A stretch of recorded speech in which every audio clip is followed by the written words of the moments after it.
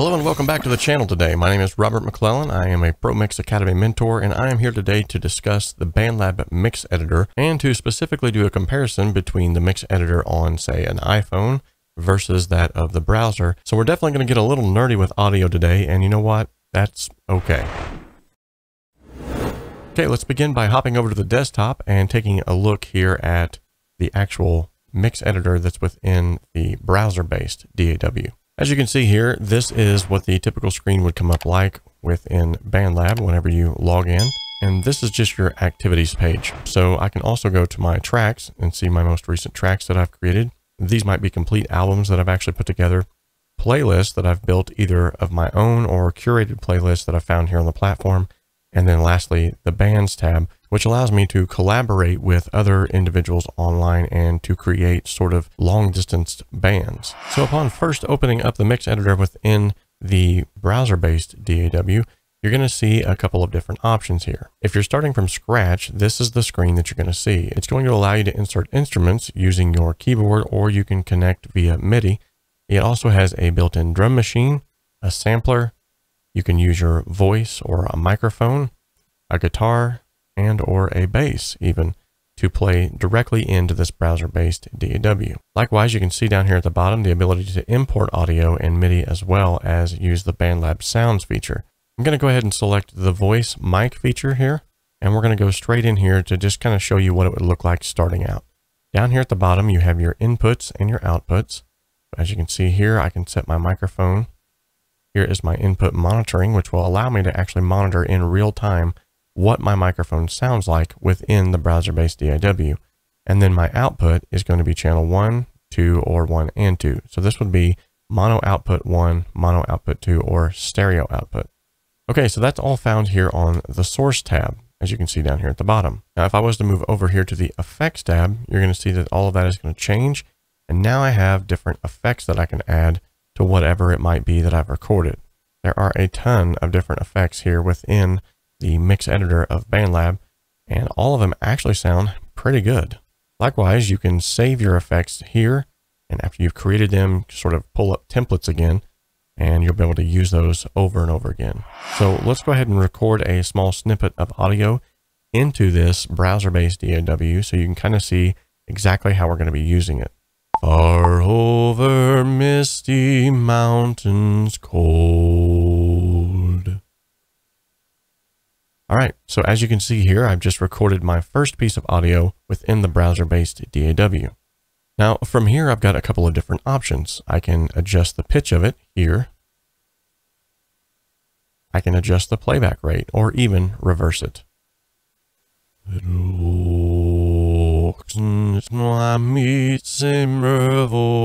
Okay, that's scary. You'll also notice that at the bottom left and right hand corners, I have some extra options here as well. These areas here allow me to click and drag that audio to either cut it off or to extend it to whatever I would like for it to be. There is an audio snap feature as well, so you'll see that it actually does snap to the grid. Likewise, there's a small arrow right here that will allow me to drag out and loop that portion of audio based off of where I've cut it. If at any time I want to undo what I've just done, I can simply come up here to the undo feature and undo that. Now let's go back to the effects tab and add an effect to this. So here are the recommended effects that pop up, but maybe I want to do something a little bit different. So I'm going to add some modulation I'm going to add a dual octaver. As you can see, the dual octaver pops up here at the bottom, and it has a familiar look of either a plugin or a stomp box. I'm going to leave this here as it's set and just hit play. Over misty mountains cold. All right, very cool. So maybe I didn't like that and I wanted to go back in here and I want to give it a little bit of space. So as you can see, when I loaded up a preset, it loaded up all kinds of effects and those are all found within these presets. As stated before, you can add any number of these plugins and or stomp pedals, and you can then save them as presets. This is the warm plate preset. Let's take a listen. Over misty mountains cold. That doesn't sound too bad, actually. But let's say that I wanted to make that really long and drawn out.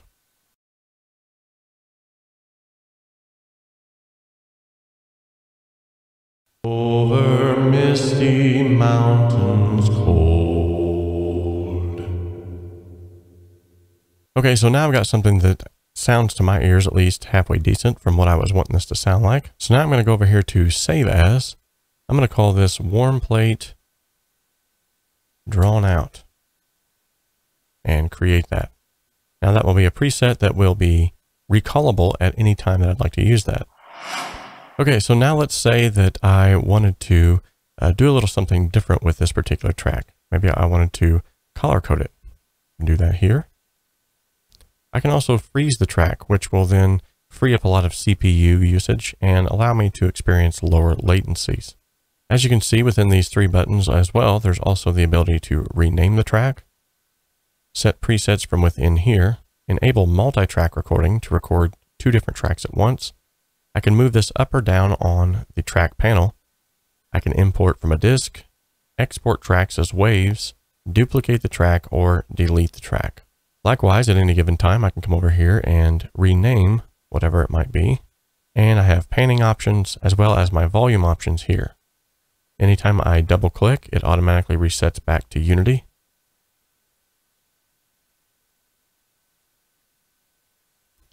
And I also have the mute and solo options. Something that's sort of newer here as well is the ability to automate within the track panel. And this is only available on the browser-based DAW. Over misty mountains cold. Over misty mountains cold. As you can see, it works much like the automation feature that's found within Cakewalk by BandLab. And you have the ability to automate volume or panning. If at any time I don't want the automation on there, I can simply right click and select reset automation. Likewise, I have the ability to record the automation from here. Over misty mountains cold. Over misty mountains cold. All right, so as you can see here, there's several different options available to us at the top of the screen, which is sort of similar to the control bar of Cakewalk by BandLab. You have your file, which allows you to save whatever you're working on. You can then publish it for the world to hear, or you can also download it. You can download it as multi-tracks, or you can download it as a full mixdown. Next, in your edit menu option, you have the ability to slice it at the playhead, undo, and redo. For your tools, you have the ability to cycle, which is essentially just looping to whatever point that you set it at. Over misty mountains cold. Over misty mountains cold. When this is selected and is green, the cycle is enabled. When I deselect it, it's white again and it no longer is being looped. Also, there is a built-in tuner, which is great if you're a guitarist or a bass player. Lastly, on the tools menu, there is a latency test. Under the view option, you have the ability to set the grid size. You can either set this to a smart snap, or you can also snap it to bars. Likewise, you have the ability to snap it to half, quarter notes, eighth notes, 16th, and 32nd notes. Next, you have the lyrics or the notes section, which will allow you to add lyrics while the music is playing. This would be great if you're working on hip hop or you're laying down some bars to a beat that you've just created. Next on the view, you have your samples option, which will allow you to see all of the various BandLab sounds that are at your fingertips, and you can even listen to them straight from the browser menu.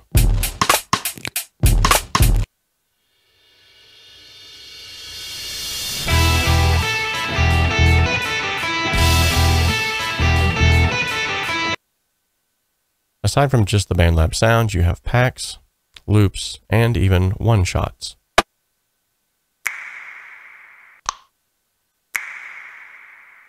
When you find something that you'd like to use in your project, you simply click and drag it into your project and move it wherever you would like. Over misty mountains cold. Over misty mountains cold. And lastly, the small arrow that's found over here will take you to the BandLab Sounds website itself, where you can browse through all the various BandLab sounds with ease. If at any time you like to collapse this menu, you simply select the button again and it goes away. MIDI mappings can either be implemented here or you can also do it down here at the bottom. This allows you to set custom MIDI mappings for a control surface or for your keyboard. And the next viewable tab is the Collaborators tab. This will allow you to invite friends and fellow musicians to create tracks together. The next option found underneath the view menu is the theme. You can either set it to dark, as I have it now, cookie, classic, or light. Likewise, you can also set the BandLab mix editor to full screen, which gives it more of a DAW feel. If at any time you would like to exit full screen, you can either go to the view menu or if you hover around up here, you can actually hit the X and that will take you out as well. Next is the settings options. The first option in the settings menu is the snap to grid option, which will allow you to snap to the grid that you've predetermined based off of the settings that we had over here on the grid size. The next option is link zoom. If you have your editor open down here with link zoom enabled, when you zoom in on the track pane, it will also zoom in here on the editor. And as you can see, if it's disabled, there will be no change from the track pane to the editor pane. From here, you can also enable the metronome. Likewise, you can select it here to enable or disable. You can set a count in of one to two bars, and you can also access your metronome settings. You can also enable multi-track recording globally ARM automation recording, select MIDI overdub, and quantize MIDI recordings, all from the settings menu. And the last option found up here on your control bar is the help menu, which will show you shortcuts, tutorials,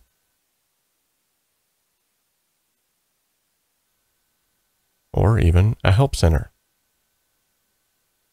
And last but not least, the help bot.